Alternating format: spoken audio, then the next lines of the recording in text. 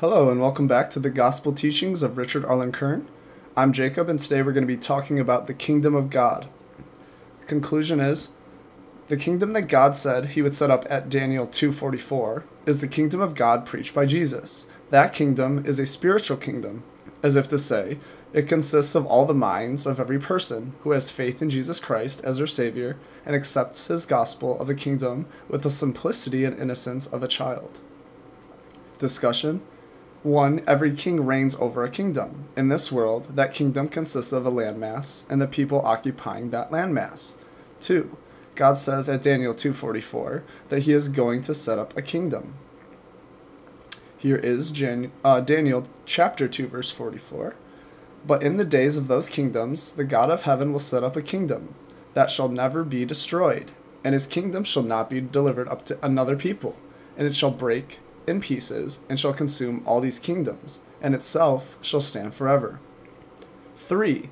What is that kingdom? Here is how God describes his kingdom.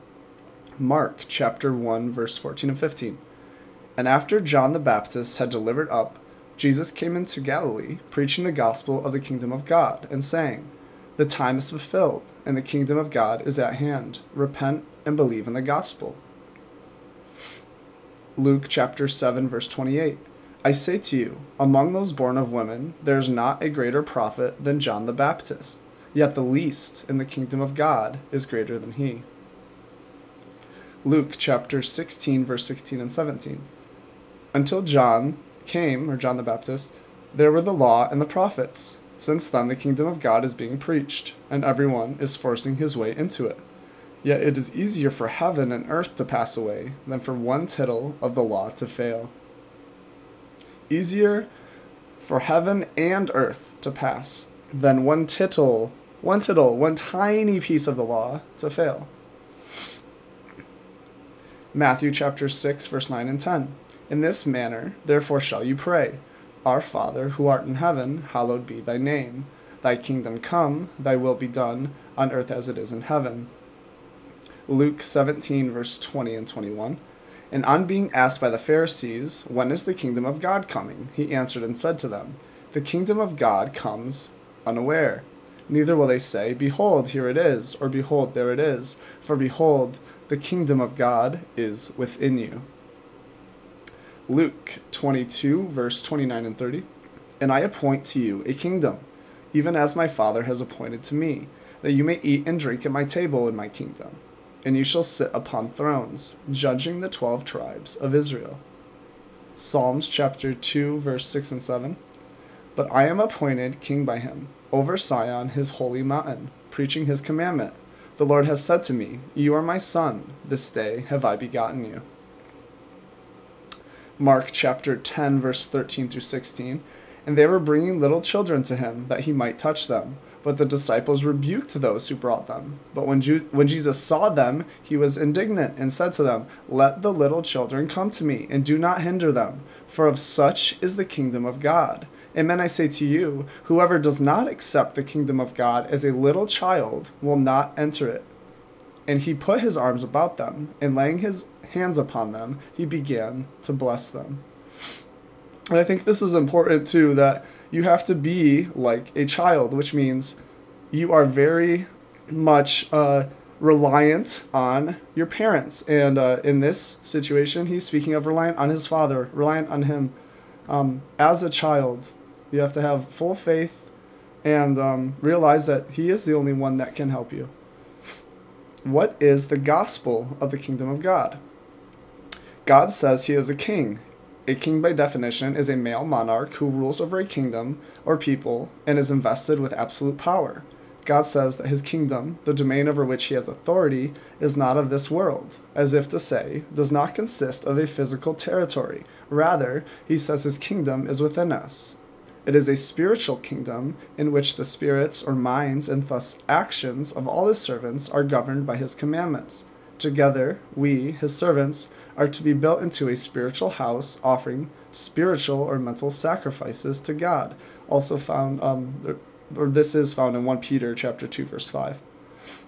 God prophesied in the Old Testament, Daniel 2:44, that the day would come when he would set up his kingdom. Jesus fulfilled this prophecy when he came into Galilee preaching the gospel or good news of the kingdom of God and saying, The time is fulfilled and the kingdom of God is at hand. Repent and believe in the gospel. It's Mark 1, verse 14. They stripped away essential uh, the stripped away essential message of the gospel of the kingdom of God is this. One, sin is disobeying God's laws. All lawlessness is sin. 1 John chapter 5, 17 one must read the Bible to learn what God's laws or commandments are. That's important. We can't know what they are unless we uh, read our Bible and find out what God has appointed laws for us. Number two, God is holy and hates sin and sinners. For the highest hates sinners. That's in Ecclesiasticus 12:3 and Psalms 5:7. 3. The wages or penalty of sin is eternal or everlasting death. As God says, For the stages of sin is death, but the gift of God is life everlasting in Christ Jesus our Lord. Romans 6:23. Number 4, God is going to live for a very long, long time, for eternity in fact, and he has decided that he would like to live that eternity with loving, sinless children. He says, Shall not I that make others to bring forth children, myself not bring forth, says the Lord?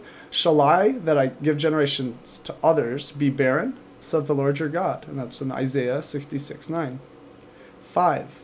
So, how is God chosen to bring forth children, and what will they look like? Incredibly, they will look like you and me. God has created every human being with the potential of being adopted into his family as a child of God, as he says. He predestined us to be adopted through Jesus Christ as his sons, according to the purpose of his will. That's uh, Ephesians 1 5. The only requirement is that we lead a sinless life while on this earth, as if to say, Earth is a testing ground to determine who is worthy to inherit eternal life and live forever with God. 6. But God says, all have sinned. Romans 3:23. 7. This creates a dilemma for God if he will only adopt sinless human beings into his family, and there are no sinless human beings, since he says all have sinned, then how is he ever to have a family? Predicament number eight God says if we have faith in his Son, Jesus Christ, which includes confessing and repenting of our sins and becoming baptized, Christ shed blood on the cross will cleanse us from all our past sins, as if to say, we will become sinless in God's eyes and will be adopted into his family at the resurrection and live with him forever. This is the gospel. This is the good news. God warns us, however, that the doctrine of the, the cross, uh, Christ's death on the cross can cleanse us from all our past sins, is foolishness or seems to be nonsense, nonsense to those who perish. But to those who are saved, um, that is to us, it is the power of God. 1 Corinthians chapter 118. 9. After putting our faith in Jesus as our Savior, God says we are to have a leader of the church lay his hands upon us for the purpose of receiving the gift of God, the Holy Spirit, who will come and literally live within us and aid us in recognizing, avoiding, and overcoming sin in the future. Number 10 it is important to understand that being a good person does not qualify one to become an adopted child of God. For every good person has committed at least one sin, and God says, Whoever keeps the whole law but offends in one point has become guilty in all. That's James 2:10. If you don't have faith in Jesus Christ, and thereby have that sin forgiven, you will die with that sin on your record, and consequently will not inherit eternal life at the resurrection of the dead, who will not uh, who will not be privileged to experience the kingdom of God. God says, Or do you not know that the unjust will not possess the kingdom of God? Do not err, neither fornicators, nor adulterers, nor idolaters, nor the effeminate, nor sodomites, nor thieves, nor the covetous, nor drunkards, nor the evil tongued, nor the greedy will possess the kingdom of God. And such were some of you. But you have been washed, you have been sanctified, you have been justified in the name of our Lord Jesus Christ and in the Holy Spirit of our God. That's found in 1 Corinthians chapter 6 verse 9 through 11. So you, like every created human being, have a choice to make. Do you want to put your faith in Jesus Christ? Quit sinning, and at the resurrection live eternally with God in justice and peace and joy in the Holy Spirit and experience those things which God says, Eye has not seen, nor ear heard, nor has it entered into the heart of man. What things God has prepared for those who he or who love him. That's 1 Corinthians 2 9. Or do you want to go on sinning and incur the sentence of eternal death at the resurrection? The choice is yours. Life in this world is short. Eternal life with God is forever. God desires that you choose eternal life with Him as one of His children. And that is up to you. It takes those few simple steps and uh, searching for the truth, and then you just have to keep searching, and God's going to keep leading you. As long as you want to know, God is going to want to show you. A summary of the kingdom of God scripture verses, and then we're going to read the verses after that. One, the kingdom and power is to be given to gods and saints. Two, seek first the kingdom of God. Three, the kingdom of heaven will be taken away from the chief priests, elders, and Pharisees who do not believe Jesus to be the Messiah. 4. Jesus said, If he casts out devils by the Spirit of God, then the kingdom of God has come upon them. No, believers cast out devils, so the kingdom of God must have been upon them. 5. At the end of the world, Jesus will send forth his angels to gather all scandals and those who work iniquity out of his kingdom and cast them into the furnace of fire, where there will be the weeping and gnashing of teeth. Then the just will shine forth like the sun in the kingdom. When Jesus returns, he will tell those on his right hand to take possession of the kingdom prepared for them at the foundation of the world. 7. Jesus came preaching the kingdom of God and saying, The time is fulfilled, and the kingdom of God is at hand. 8. The kingdom of God is a mystery. 9. Some in Jesus' day were to see the kingdom of God before they died. 9. If we sin, we cannot enter the kingdom of God, but rather will be cast into unquenchable hellfire or Gehenna fire. For everyone will be salted with fire. Mark 9, uh, 46 through 48, and Leviticus 2.13. 11. Jesus was sent to preach, in, uh, preach the kingdom of God. 12. Jesus sent 72 of his disciples to the towns he was going to visit, telling them to say to them, The kingdom of God is at hand for you. Jesus said, The kingdom comes unaware, without knowing, by surprise, for behold, it is within us. 14. One must be born again of water and the Holy Spirit before he can see or enter the kingdom of God. So that's baptism through the belief of Jesus Christ as our true Savior. 15. The disciples must endure much tribulation to enter the kingdom of God. 16 the beloved in Rome called to be saints. 17. The unjust will not possess the kingdom of God. 18. Flesh and blood can obtain no part in the kingdom of God. 19. Those who do the works of the flesh will not attain the kingdom of God. 20. No fornicator, or unclean person, or covetous one has any inheritance in the kingdom of Christ and God. 21. Paul and the brethren, or church, at Colossae were transferred into the kingdom of Jesus Christ. That's in Colossians chapter 1. Uh, Paul and at least five others were workers in the kingdom of God. 23.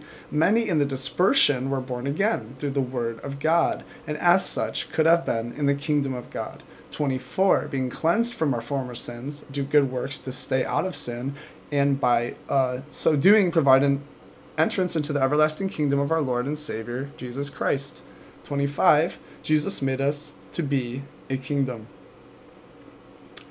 Daniel chapter 7:27 And that the kingdom and power and the greatness of the kingdom under the whole heaven may be given to the people of the saints of the most high whose kingdom is an everlasting kingdom and all kings shall serve him and shall obey him. Matthew 6:33 But seek first the kingdom of God and his justice and all these things shall be given you besides.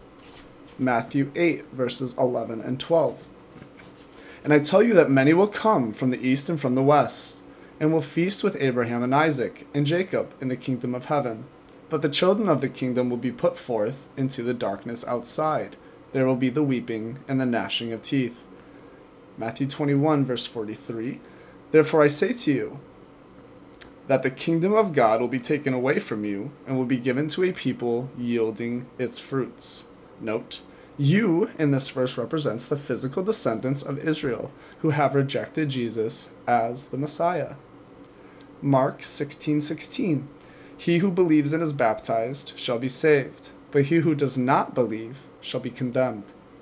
Matthew 12, 28.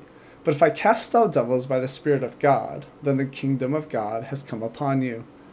Also uh, found in Luke 11, 20, but by the finger of God. Mark 16, 17. And these signs shall attend those who believe. In my name they shall cast out devils, they shall speak in new tongues. Matthew chapter 13, verses 40 through 43.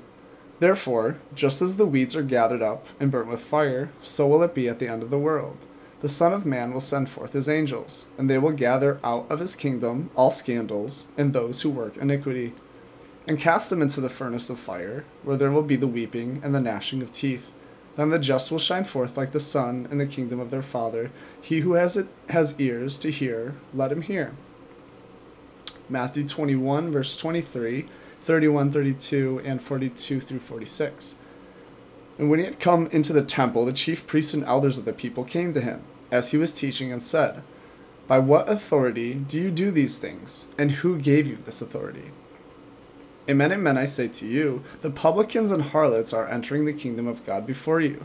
For John came to you in the way of justice, and you did not believe him. But the publicans and the harlots believed him, whereas you, seeing it, did not even repent afterwards, that you might believe him. John 1, verse 29, 34, and 41, and this is what they did not believe. The next day, John saw Jesus coming to him and said, Behold, the Lamb of God who takes away the sin of the world. And I have seen and have borne witness that this is the Son of God. He, or Andrew, found first his brother Simon, and said to him, We have found the Messiah, which interpreted is Christ. Jesus said to them, Did you never read in the Scriptures, the stone which the builders rejected has become the cornerstone? By the Lord this has been done, and it is wonderful in our eyes. Therefore I say to you that the kingdom of God will be taken away from you and will be given to a people yielding its fruits. And he who falls on this stone will be broken to pieces, but upon whomever it falls, it will grind him to powder. And when the chief priests and Pharisees had heard his parables, they knew that he was speaking about them. And though they sought to lay hands on him, they feared the people, that they regarded him as a prophet. Matthew 25, verse 31 and 34. But when the Son of Man shall come in his majesty, and all the angels with him, then he will sit on the throne of his glory. Then the king will say to those on his right hand, Come, blessed of my Father, take possession of the kingdom prepared for you from the foundation of the world. And after John had, uh, I'm sorry, this is Mark chapter 1, verses 14 and 15. And after John had been delivered up, Jesus came into Galilee that's uh, John the Baptist, preaching the gospel of the kingdom of God, and saying, The time is fulfilled, and the kingdom of God is at hand. Repent and believe in the gospel. Mark chapter 4, 11 and 12. And he said to them, To you it is given to know the mystery of the kingdom of God, but to those outside, all things are treated in parables, that seeing they may see, but not perceive, and hearing they may hear, but not understand, lest perhaps at any time they should be converted, and their sins be forgiven them. Mark 8, verse 39. And he said to them, Amen, I say to you, there are some of those standing here who will not taste death till they have seen the kingdom of God coming in power. Mark chapter 9, verse 46 through 48. And if your eye is an occasion of sin to you, pluck it out. It is better for you to enter the kingdom of God with one eye than having two eyes to be cast into hellfire where their worm dies not, and the fire is not quenched. For everyone shall be salted with fire, and every victim shall be salted. Leviticus 2:13 Whatsoever sacrifice you offer, you shall season it with salt. Neither shall you take away the salt of the covenant of your God from your sacrifice. In all oblations you shall offer salt. Um, so sadly and kind of scarily, this is saying that we are basically sacrificed for sin. Uh, and we will be salted, and the fire will not be quenched. Luke 4, verse 43. But he said to them, To the other towns also I must proclaim the kingdom of God, for this is why I have been sent. Luke 10, 1 and 8 through 9. Now after this the Lord appointed seventy two others, and sent them forth two by two before him into every town and place where he himself was about to come And whatsoever town you enter, and they receive you, eat what is set before you, and cure the sick who are there, and say to them, The kingdom of God is at hand for you. Luke 17, verse 20 and 21. And on being asked by the Pharisees, When is the kingdom of God coming? He answered and said to them, The kingdom of God comes unaware, or without warning, by surprise, or without knowing. Neither will they say, Behold, here it is, or Behold, there it is, for behold, the kingdom of God is within you. John chapter 3, verse 3 through 8. Jesus answered and said to him, Amen, amen, I say to you, unless a man be born again, he cannot see the kingdom of God. Nicodemus said to him, How can a man be born when he is old? Can he enter a second time into his mother's womb and be born again? Jesus answered, Amen, amen, I say to you, unless a man be born again of water and the Holy Spirit, he cannot enter into the kingdom of God. That which is born of the flesh is flesh, and that which is born of the Holy Spirit is spirit. Do not wonder that I said to you, You must be born again. The wind blows where it will, and you hear its sound, but do not know where it comes from or where it goes. So is everyone who is born of the Holy Spirit. Acts chapter 14, verse 20 and 21. They, uh, speaking of Paul and Barnabas, returned to Lystra and Iconium and Antioch, reassuring the disciples and exhorting them to continue in the faith, and reminding them that through many tribulations we must enter the kingdom of God. Romans chapter 1 verse 7. To all God's beloved who are in Rome, called to be saints. 1 Corinthians chapter 6 verse 9 and 10. Or do you not know that the unjust will not possess the kingdom of God? Do not err, neither fornicators, idolaters, adulterers, effeminate, the sodomites, the thieves, nor the covetous, nor the drunkards, nor the evil tongued, nor the greedy will possess the kingdom of God. 1 Corinthians 15:50. Now this I say, brethren, that flesh and blood can obtain no part in the kingdom of God, neither shall corruption have any part in incorruption. So that means we will not have a physical body spiritual only. Uh, Galatians chapter 5, verse 19 and 21. Now the works of the flesh are manifest, which are, and concerning these I warn you, and I have warned you, and they who uh, do such things will not attain the kingdom of God. Ephesians 5 5. For know this, and understand, that no fornicator or unclean person, or covetous one, has any inheritance in the kingdom of Christ and God. Colossians chapter 1, verse 2, 4, 9, 10, and 12 through 12, um, 14.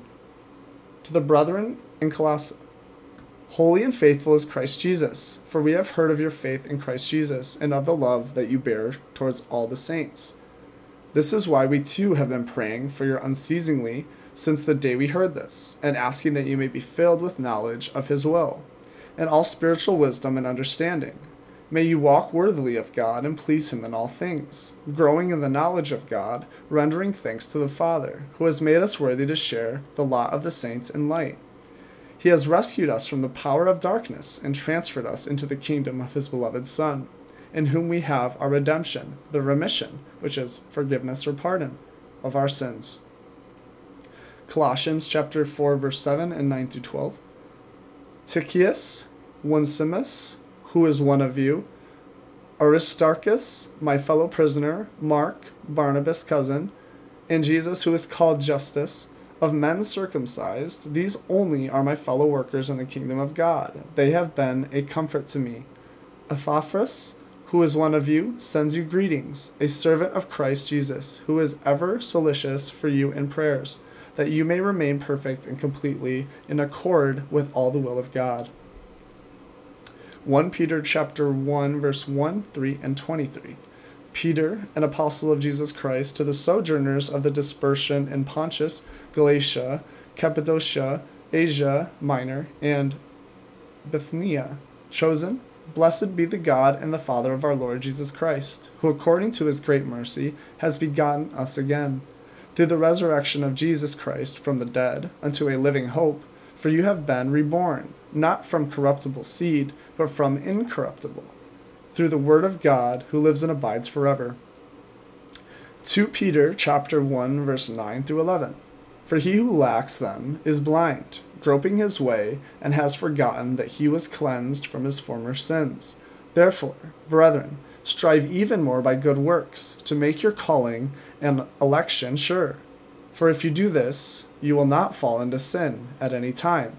Indeed, in this way will be amplified, provided for you the entrance into the everlasting kingdom of our Lord and Savior, Jesus Christ. Uh, this is a great research paper on the kingdom of God. And if you are wondering, what is the kingdom of God? Where is the kingdom of God? What is God referring to or Jesus referring to when he's talking about this? Um, and it's very clear by the scripture um, laid out in the Bible that the kingdom of God is within us. And we are able to have that or see what that kingdom of God is um, working if we are baptized and if we are trusting that Jesus is the true Savior of God and we are repenting for our sins. Um, that was the kingdom of God that Jesus was referring to uh, to seeing and being on that earth already. Um, this is something that we have to remember. We are the temple of God, and that's what that comes back to as well. Um, we have to search out the truth. We have to um, realize that Jesus is the Savior of our God, and that through Him we were given the Holy Spirit, and the kingdom of God is here. It's just not very apparent. Um, we have to rebaptize. We have to repent. We have to search the Bible, the Word of God, the the true Word of God, scriptural, biblical Word, um, and try to do what he has planned from the beginning for us through his law, um, which some of it, of course, was undone by Christ being that Holocaust, um, but most of it is still relevant and still things that God expects us to do, um, especially things like the Sabbath and his feast days. So um, I ask you all to pray on this and uh, have a wonderful, blessed day.